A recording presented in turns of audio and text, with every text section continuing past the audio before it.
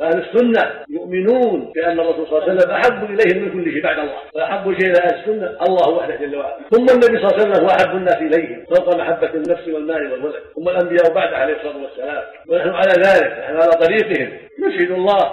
نشهد الله أنه أحب إلينا من كل شيء بعد الله. نشهد الله أنه أحب إلينا من أنفسنا وأموالنا وأولادنا وكل شيء. والله لو أنه شرع ذلك لشرعنا اليه ودعونا إليه الصلاة والله لو شرع ذلك لدعونا إليه. ولشرعنا اليه وكتبنا فيه الكتابات ولكنه ما شرع ذلك ولا فعله ولا فعله اصحابه ولكن اليوم عدو الناس من نهى عن عوائدهم وأباطيلهم التي اعتادوها. واذا نهوا عن باطل وعن بدعة قالوا هذا يبغض النبي. هكذا قالوا النبي. لما دعاهم النبي إلى توحيد الله والاخلاص له قالوا محمد يبغض عيسى بن مريم عليه السلام. قالوا يبغض عيسى لأنه نهى عن عبادة عيسى عليه السلام. وهكذا الدعاة من قديم الزمان. إذا دعوا إلى توحيد الله قالوا هؤلاء يبغضون الصالحين ولا يحبون الصالحين لأنهم قالوا لا تعبدونهم مع الله. حبهم باتباع الطيب باتباع أخلاقهم الطيبة وبالأخذ بأعمالهم الطيبة هذا حبهم. حب النبي صلى الله عليه وسلم باتباعه والسير على منهاجه وتعظيم سنته والدعوة إلى ذلك والنبي عنها. هذا هذا حبه عليه الصلاه والسلام قل إن كنتم تحبون الله